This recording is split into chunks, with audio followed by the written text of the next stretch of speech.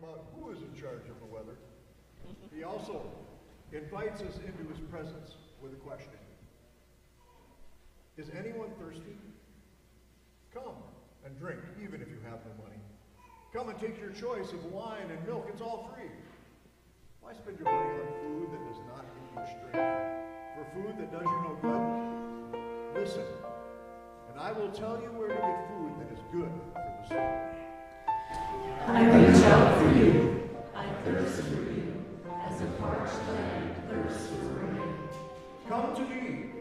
with your ears wide open. Listen, for the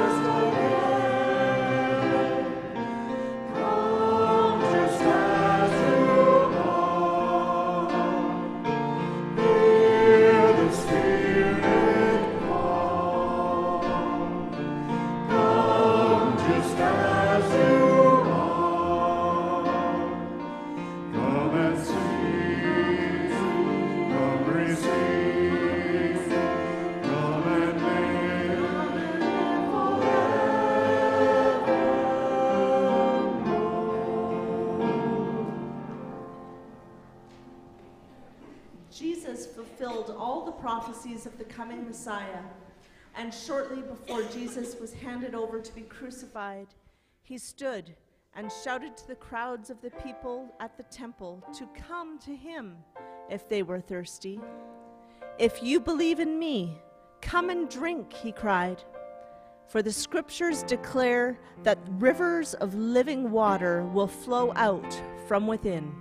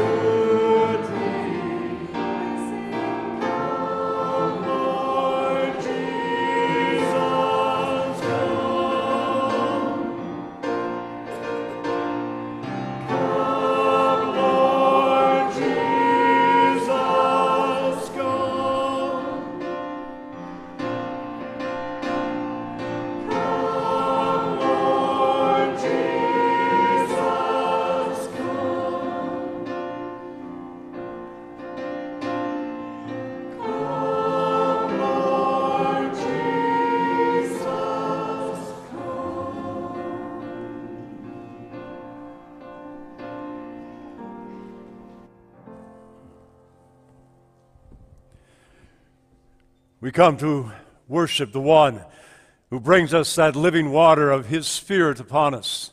And we are delighted that you have responded to the invitation to come and to worship. A special welcome to the family of Axel. We are glad that you are here today, and we look forward to God's covenant promises for, for Axel and for the rest of us as we remember again who we are and whose we are. For those who have joined us online or local cable, welcome to you as well, and we pray that you might bring your worship to our King, who is here. Receive his greeting. Grace, mercy, and peace be to you from God the Father, from God the Son, and from God the Holy Spirit. And all God's people receive that greeting by saying together, Amen. As God has greeted us, I invite you to turn to those around you and greet them in the name of our Lord.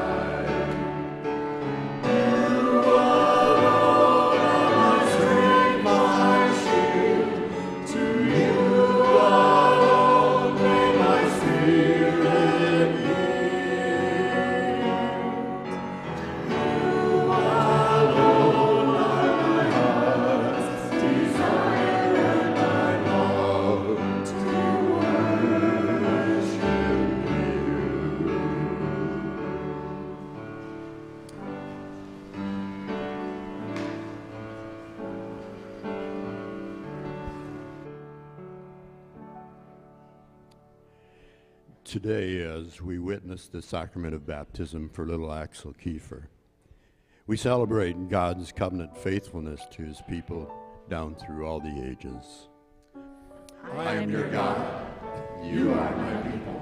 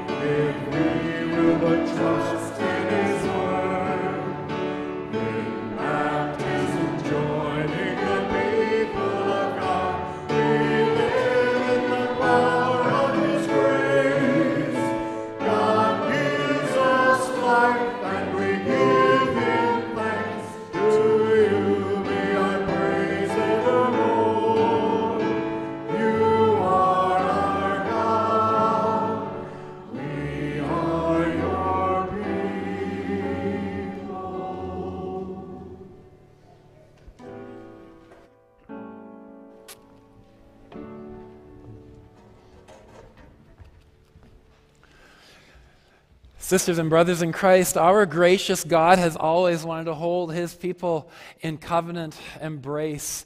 Um, he has declared over and over, as we just sang, I am your God. You are my people. And in Christ, that is who we are the people of God, the family of God. And today we especially celebrate how Axel is part of our family uh, by God's grace. God pursued this deep desire to have a people of his own already back when he called Abraham and Sarah and uh, invited them to trust in him. And he gave them a covenant sign to show that they belonged to him and would be his descendants. And sorry, and as would be their descendants. Well, in baptism, God now claims us in Christ, marks us as his own people, and seals our membership in God's covenant community, uh, which is the church. Baptism is the covenant sign that God frees us from the power of sin and death and unites us with Jesus Christ in his death and his resurrection. Because Christ died on the cross and rose again on the third day, our sins are washed away like water washes away dirt. The Holy Spirit of Jesus nurtures our faith and calls us to give ourselves to Christ in trust, love, and obedience now and for eternity. And since the beginning, God has included children in his covenant of grace. All his promises are for the children as well as for the adults. As we grow physically and spiritually, we are to teach our children that they are God's own children. So as they grow older, they may respond to him in personal faith and obedience. And so, just as water washes away dirt, we give thanks for how in Christ our sins are washed away and we are marked as Christ's own forever, belonging to his family. Celebrating these promises, grounding um, ourselves in them, I'd like to invite Axel and mom and dad to come forward so that we can celebrate baptism together. I'd like you to come nice and close here to the basin.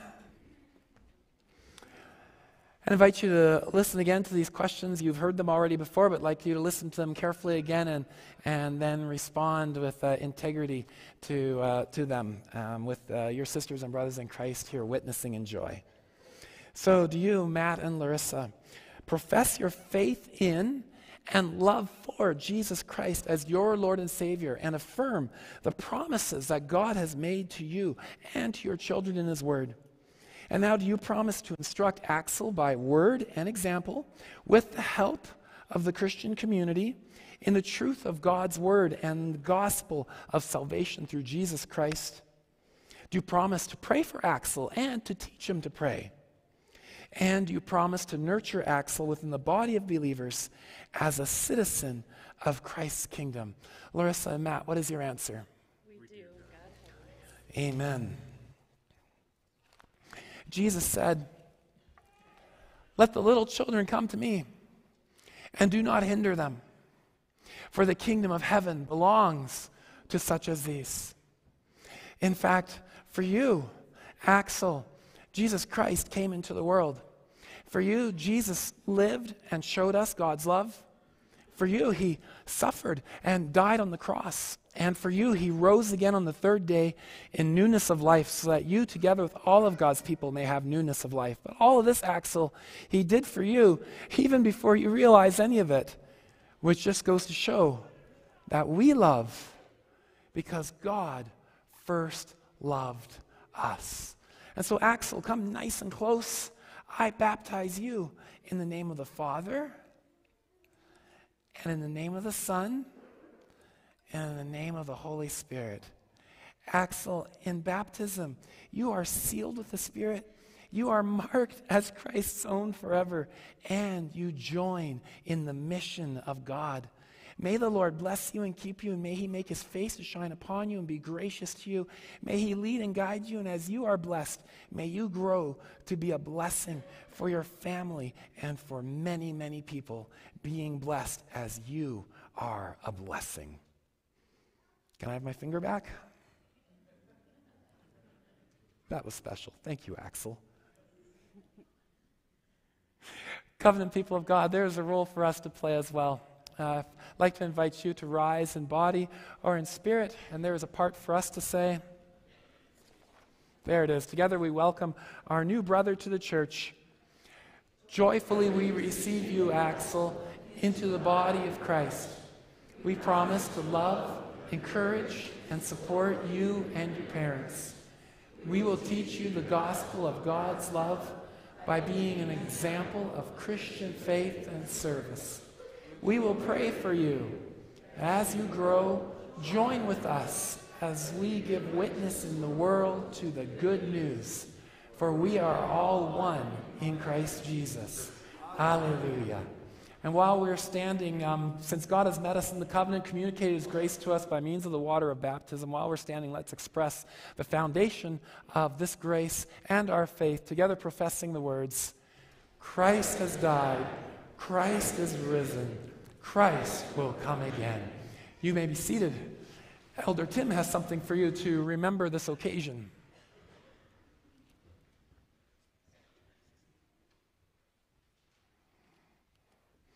And you may be seated as well. Let's come to our God in prayer.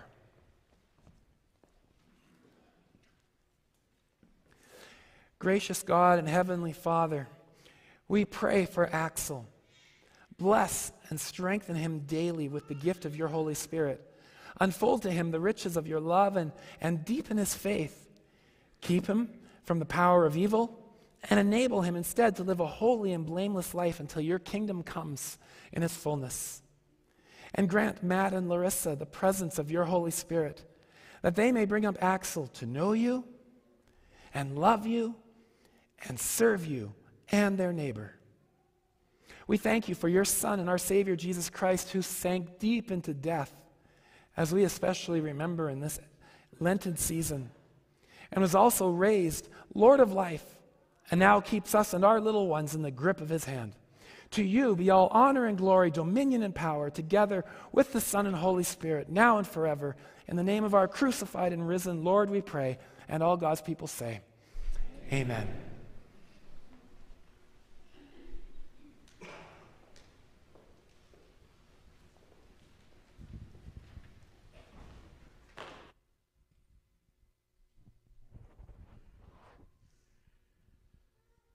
A robin brings the promise of spring after a long winter. A rainbow is God's promise that brings tranquility after a storm. A newborn baby brings joy after the anguish and pain of childbirth. And an empty tomb, after Christ's cruel death on the cross, brings the promise of salvation to all who believe. O Lord, you are beautiful. May you always be our greatest treasure.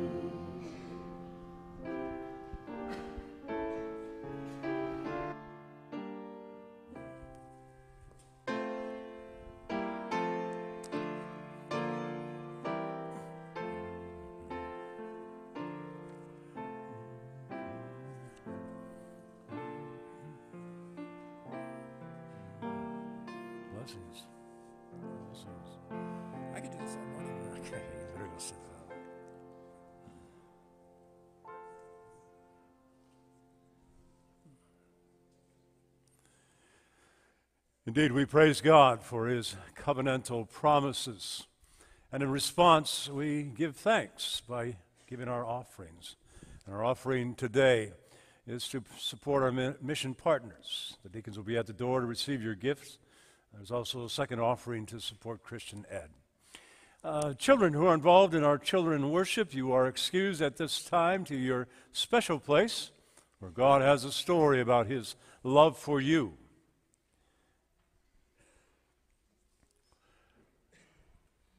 Just a reminder to children who sing after our worship time. Um, just stay here in the sanctuary. You don't need to go. We're going to sing together first after our time of worship this morning. Let's go to our God in a time of prayer. Oh, covenantal God, we thank you again for your faithfulness, your promises, which are true and sure. You are our Father. You are our Savior. And all powerful Spirit, we thank you for your presence to live and abide in us, to guide us. We want to say thank you today for, for the gift of life, for the riches of salvation, for shaping us so that we might carry the image of Christ and grow in you. Lord, as we look back at this past week, we thank you again for your providential care. You are that God who watches over, cares for us, and we thank you. And Lord, we do come today asking, asking for rain. The ground is thirsty, just like we are thirsty, but we do pray that you would bring moisture. Lord, as we enter this week, we pray for one another. We pray for our schools. We pray for Christian schools, public schools, home schools, preschools, technical schools, our universities, that they may be safe places, equipped to carry out their calling to enable minds and bodies and souls to understand your world and our place in your world.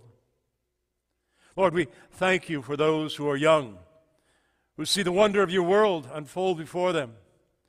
And we pray for them during this stretch. Help them to give their best. We thank you for teachers and textbooks and technology that help explore your wondrous world. Lord, we pray, bless the administration, teachers, paraprofessionals, office administrators, custodians, bus drivers, board members, and other staff with wisdom, integrity, patience, and the energy to carry out their calling. Speaking of that, Lord, we do pray for those who are young, for those who are in that season of young adulthood. We ask that you will guide their path, enable them to make good decisions. We pray for those who are single, who may at times experience loneliness and wonder about their part in the family of God. Strengthen their faith.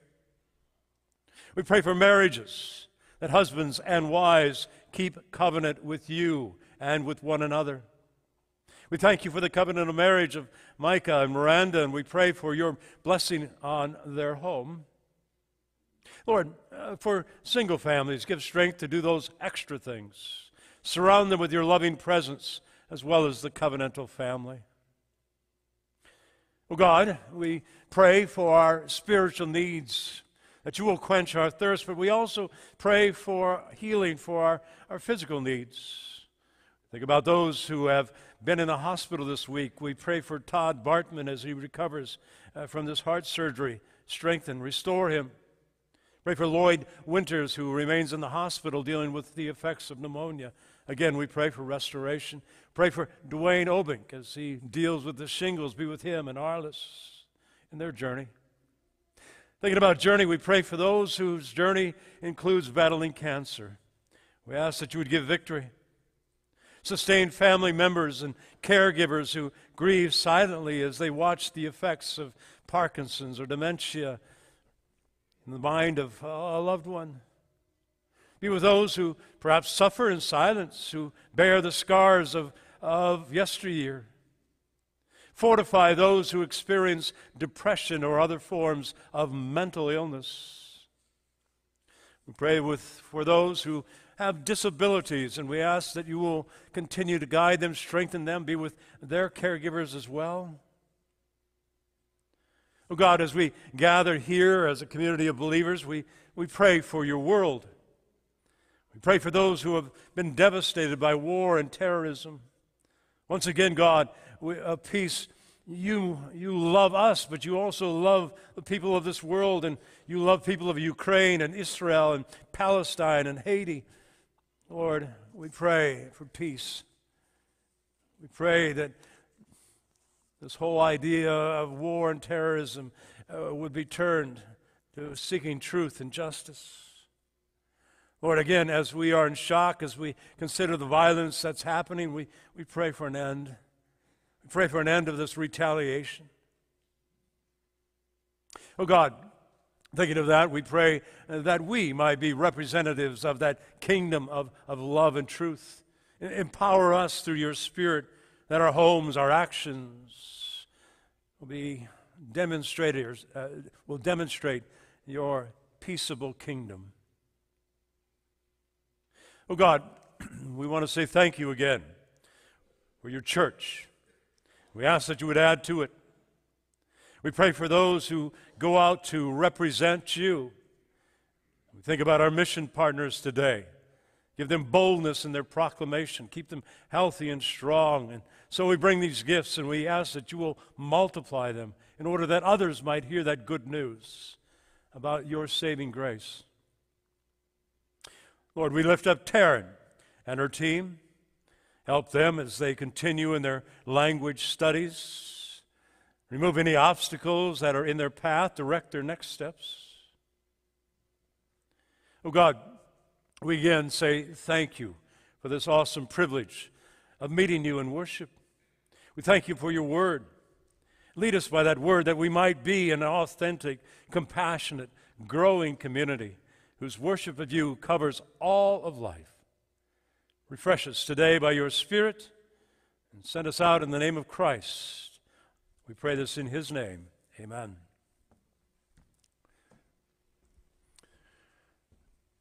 invite us to hear from God's word this morning from the Gospel of John.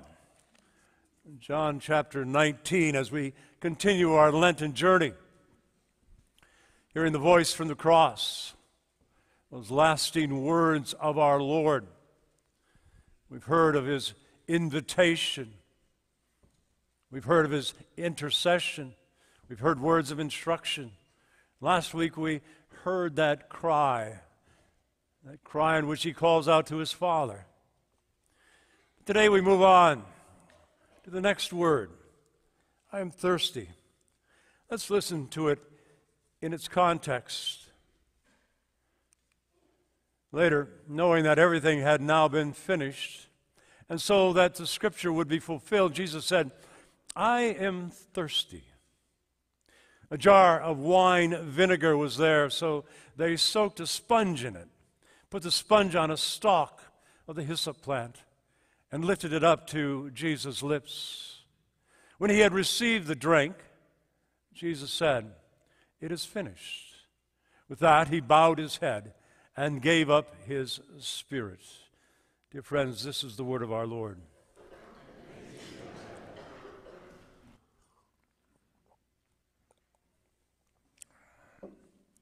I am thirsty. Certainly, a, a, word that I, or perhaps you, would have said if you were in Christ's position. After all, it expresses that greatest of human need, that of thirst. I understand that the body can endure a rather lengthy time without food, and our body can put up with some suffering, but the thirst, that's a different story. Thirst is like a consuming fire. Some of you perhaps have experienced dehydration in your life, and you experience that, that thirst. For a few minutes this morning, I want to think about this cry from the cross. That Greek word is just one word, dipso. It expresses that human need. I begin with a story. It comes from Armenia back in 1988. It was an earthquake. And you see uh, remnants of an apartment building. And there in the middle of that apartment building, in a coffin like size, was a mother and her daughter, Susanna and Guyuna. As, that, as they were in this small pay, uh, place, excuse me, about eight feet long and 18 inches high, they wondered how long that they could last. They found a grape jam, about 24 ounces grape jam jar in their space that gave them some sustenance to endure. And yet, as mom said, it was horrible. It was so cold. And we dealt with wondering if anybody knew we were there. Our sleep was interrupted by hallucinations. But the biggest problem, biggest problem was thirst. And mom, Susanna, said one of the hardest things I had to hear was my little daughter, Guyana, crying out, Mama, I am so thirsty. I am so thirsty. What do you do? Well, Susanna remembered a survival skill. She took that grape jam jar, broke it, and took a piece and cut her finger and held it up to her daughter's lips so she could have that thirst quenched. She did it over and over again. I know that sounds pretty wild, but it sustained them. And they survived eight days and were found. I think of that story in light of our Lord and Savior Jesus Christ, who cries out that human need I am thirsty.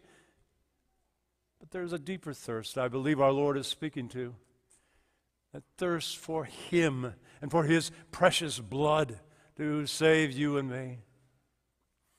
As we open our Bibles today, we hear this cry from the cross, a cry of humanity. I remind you again, we get the word excruciating as a word from the cross. It means the pain from the cross. In fact, the word, excuse me, the symbol of the cross I read was not used for two or three centuries in the early church until some of those passed away because of the horror of seeing people crucified on a cross. It's excruciating. But remember again, 12 hours our Lord has been putting up with this. Remember, he was arrested and then tortured, slapped around, pushed around, mocked, crowned with thorns, scourged with that cat o' nine tails again and again and again, with those sharp pieces of leather studded with bits of bone and stone and metal. They beat him. And then they made him carry that cross. And they nailed those nails into his hands and feet.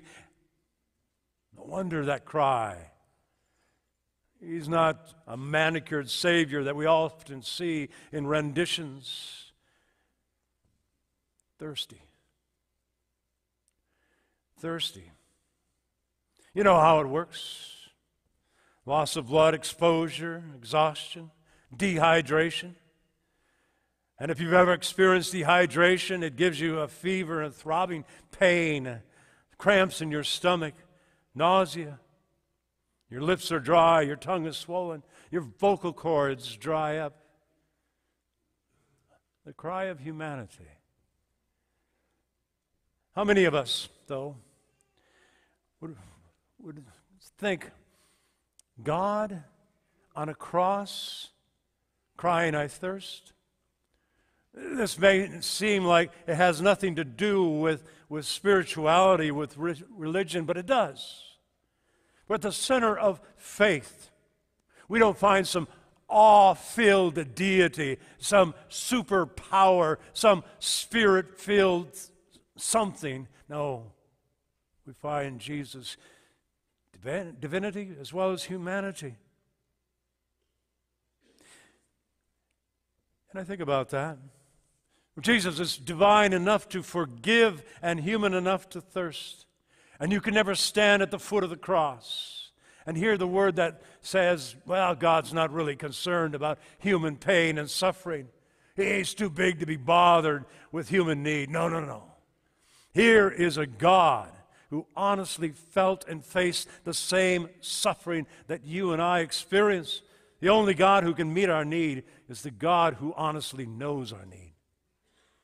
I am thirsty. I am thirsty. It may seem a bit different than the other words that we've been listening to.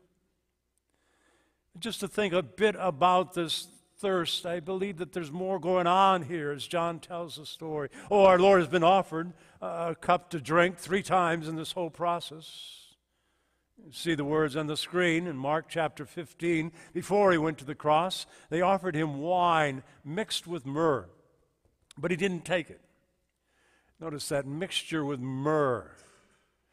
In a way, it was an offer to deaden the pain, perhaps, or expedite death. Some of you familiar with history. You remember Socrates, who, who drank of that hemlock in order to, uh, to expedite his death. But our Lord did not take it, He refused it. In a way, it would be like an anesthetic, and nothing wrong with anesthetics, but nonetheless, our Lord chose the path of suffering in its totality. He knew the deepest pain. We read also a, second offering. They offered Jesus, while on the cross now, wine to drink mixed with gall, but after tasting it, he refused to drink it. We also read in, the Gospel of Luke how the soldiers also came up and mocked him. They offered him that wine vinegar and said, If you are the King of Kings, uh, King of the Jews, uh, save yourself. Notice that mocking nature to it. But this offer that we have today, where Jesus speaks about his thirst, is different here in the Gospel of John. Matthew and Mark note it was after he said, My God, why have you forsaken me? But here we read Jesus is talking about prophecy. Later, knowing that all was now fulfilled, and so that the scriptures would be fulfilled, Jesus said, I am thirsty. Notice that word, that scripture would be fulfilled. What scripture? Well, you see it on the screen. Words from Psalm 69. For my thirst, they gave me vinegar to drink. Yet there, there's, there's something more here. It's that humanity of Jesus on full display. I note that because sometimes people will say, well, Jesus really wasn't fully human. There was a movement in the second, third century called Docetism, very popular. It said that, well, God appeared as a man, he was, but he was still a spirit. Others have said, well, it wasn't really Jesus on that cross. Even you can read in the Quran a story about how somebody else took Jesus' place because God would never allow Jesus to go to a cross. But John said, No, I was there. I saw it, my own eyes. But there's something deeper here. It's not just this physical need, there's something more going on. It's about that new covenant. Remember, remember how our Lord taught at that Last Supper, how he's going to drink of that cup, that cup of that new covenant in his blood? Remember also how he talked to uh, his disciples, particularly James and John, who were saying, Hey, you know, we want some top spots in your kingdom. And Jesus asked them that question. You don't know what you're asking, Jesus said to them.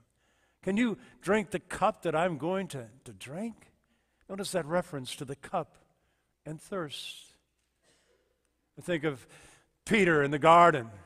Ooh, yeah, he wanted to protect Jesus, and Jesus commanded, put, put your sword away. Shall I not drink the cup the Father has given me? Notice that cup. We hear that prayer from the Garden of Gethsemane. My Father, if it's not possible for this cup to be taken away unless I drink it, may your will be done. Think about the thirst of our Lord. Oh, it's that physical thirst. He's truly human. But it's also, I believe, a cry. That cry that humanity's thirst would be quenched through Christ. That through Christ, He would build that bridge for us to have that relationship with God. So it is. We hear His cry. The metaphor of drinking describes His suffering. But is it not that our Lord is willing to drink that cup of suffering, to drink it down to the dregs, to finish off that cup? And we hear it in our story as he's given that cup, and then he cries out, It's finished. We'll think a little bit more about what that means next week. But for today, I think about that cup. I think about the thirst, not only of our Lord, but our thirst. He came to quench the thirsty people. Remember how Jesus met a woman in John chapter 4. And remember, he asked for a drink. And they got into a conversation. And Jesus answered her question about who he is and answered this way If you knew the gift of God and who it is that asked you for a drink, you would have asked him, and he would have given you that living water. Jesus has come to quench our thirst, that thirst for a relationship with God, a thirst of satisfaction knowing who we are and whose we are that thirst of, of finding meaning and purpose in our life, as he did for this woman. Remember, she was thirsty for what our hearts yearn for joy and hope, meaning, purpose, companionship, and love, forgiveness, and mercy. Those are the things that I thirst for as well. And she'd been trying all of her life to quench that thirst, but had been looking in the wrong places. Jesus comes to quench that deepest thirst. We heard it earlier in our liturgy today about that great feast day, a great feast that Jesus attended, and on the end of that feast uh, was that prayer for God to pour out rain. At the end of that feast, Jesus stood up in that loud voice and he said, If anybody's thirsty, let him come to me and drink. Whoever believes in me, as the scriptures has said, streams of living water will flow from within him. Jesus has come to quench our thirst by pouring out the Holy Spirit into our life. I am thirsty. How about you today? Can you say that? I am thirsty. What are you thirsting for, first and foremost? You know, throughout history, people have been seeking uh, to quench their thirst through other means. I think of the Old Testament, where Jeremiah says uh, to the folks, Look, you, you've forgotten God. You, you've forgotten the one who is the living water, Jeremiah says. And you've dug out cisterns for yourself, cracked cisterns that can hold no water. I think about that in our world. All kinds of offers about what will quench your thirst. What do we look for for satisfaction? Things of this earth? Maybe a new car, a new house, a new spouse, a new job. What is it in your life? What is it that we are following to try to quench our own thirst? You know, these false fountains can cave in, leaving broken dreams, collapsed promises, generations trapped. Remember, Jesus came to quench our thirst. One more thing that I note with you in the light of this passage. We read, I am thirsty, and what do they do? They respond by giving him this drink. Somebody fetched a stick, put a sponge on it, and dipped it in wine, raised it to Jesus. Think about that for a moment. John indicates that this stick was a hyssop branch. Big deal. Hyssop is a name for many different kinds of bushy plants back then. But this isn't about botany. This is about theology. This is about the big story. Remember what's going on right now. It's Passover. It's Passover, and these Jews are remembering their history of how God delivered them uh, from Egypt. And you remember that last great plague, the tenth plague, in which the firstborn was taken. But there was a provision given to the people of God. Uh, take a bunch of hyssop, dip it in the blood in the basin, and put some of the blood of the top and both sides of the door frame. Remember that story? How the people were to take a little lamb and slay that lamb and take that blood and, and then take a hyssop branch and paint that doorway. And they would be saved. The angel would pass over. Well, understand, that's what's going on here at this moment in time. In Jerusalem, at that moment, the Passover lamb that represented the nation was being offered on the altar. But here on Golgotha, the Lamb of God who comes to take away the sin of the world, the one who shed his blood for you and me, is on that cross. Uh, this hyssop branch, you'll see it throughout Scripture. It represents God's intervention in our life. God who doesn't forget his promises. Think of the words of Hebrews chapter 9. You read about Moses who took the blood together with the water, scarlet wool, and branches of hyssop, and sprinkled the scroll and all the people. This represents that cleansing that comes from God. I am thirsty. There's that invitation for us today. Experience that wholeness of God. Experience that pur- purification. As I mentioned, our world has many different ways that it tries to quench our thirst. But Jesus reminds us, first and foremost, blessed are those who hunger and thirst for righteousness, for, for that relationship with God. And they'll be filled. That's that promise for you and for me today. Oh, there's many things that are on our mind, many things that we're called to do. But first and foremost, we're called to thirst for that kingdom of God. Let me ask you, is that the deepest longing of your life?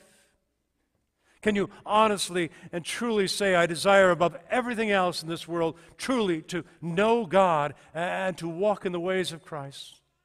I long to be cleansed of every shape that does not conform to the image of Christ. Do we thirst for that righteousness of Christ to fill others, not just ourselves? I wonder about that sometimes as I think about the church in, in the West here and how the church seems to be in decline. What's going on? When I look at the southern hemisphere, I see Central America and Asia and Africa, and Christians are growing in, in, in rates 10 times as much as the population. Why is that? Recently, I read a story uh, about perhaps an explanation of that from Andrew Walls, a theologian, somebody who studies the church life. And he notes well, well in the southern hemisphere, there, there's this thirst, this deep thirst for God, deep thirst for His Spirit to be poured out. And it's missing in North America. But the heart of the gospel is that thirst for Christ. And when Christianity uh, loses that thirst, it becomes this place of power, and the radical message of sin and grace and cross becomes muted or even lost. May that not be so for us. Each and every day we bring our, our thirst for God to fill us. And the gospel calls for us to a life in which we risk and we sacrifice and give ourselves so that others might know the love of God. May we thirst. Thirst that others might know Jesus Christ. And it might be something that's inconvenient, uncomfortable, sacrificial, even risky in order to be part of his redemptive work in the world. There's that filling that compels us to go out and tell others. Think about that today as we take our offerings for our ministry partner, and they are compelled to go out to represent the Christ. Well, so it is for you and for me. And it may not be out there, it may be right here. I think of the Apostle Paul, who used the words, I am obligated both to the Greeks and the non Greeks, both to the wise and the foolish. That's why I'm so eager to preach the gospel to you and you who are at Rome. May our thirst too be that of representing the Christ to, to proclaim that good news. I end with a question What does it look like? What does it look like? And to be those kinds of witnesses, those who, who testify, Christ has quenched my thirst, and I'm, I'm seeking to bring that to others. Uh, to me, it, it looks like homes where parents teach their children to thirst for the things of the kingdom. Teach their children to thirst for the things of the kingdom. It's where word and prayer is a priority. As we fill our minds and souls with stories of those who thirsted for the truth, it looks like those who are willing to go to serve locally and perhaps regionally or globally to be the hands and feet of Christ. It looks like people willing to coordinate efforts to help those who are physically thirsty uh, be satisfied by digging wells, for example. It means those who are willing to go into prisons or communicate with prisoners to let them know how much they are loved by God. It means to come alongside those who may be marginalized, those who are lonely, those who are pushed aside, people who are wondering if anybody cares, people who are thirsty for somebody to say, I care in the name of Jesus Christ. May we, in a way, have a healthy thirst thirst for that kingdom of God, thirst for others to know Jesus Christ. So today, we remember Jesus' words. We remember his humanity as indeed he expresses that deepest need, suffering for his people. But he also reminds us how he has come to quench our thirst, but to send us out. He invites you to come and experience that living water and to share it with others. We go in his name today to a thirsty world with the good news of that living water, the Lamb of God who's come to take away the sin of the world. Let's pray together. The Lamb of God, we thank you again that you have come to us to quench our deepest thirst, that right relationship with you and the Father and the Spirit. We thank you for that promise that you will fill us it's our prayer today that you will fill us to overflowing in order that we might go out and let others know the good news that we are saved through Jesus Christ. Lord, there are many who do not know that, who, who continue to search for things to quench their thirst. We pray that, that they too might understand you are the source of life. You are the one who promises to quench our thirst. Thank you and send us, we pray in Jesus' name. Amen. But it's to sing a song of response as we think about the Lamb of God who's come to take away the sin of the world. I invite you to stand either in body or in spirit as we declare our profession together in song. Thank you.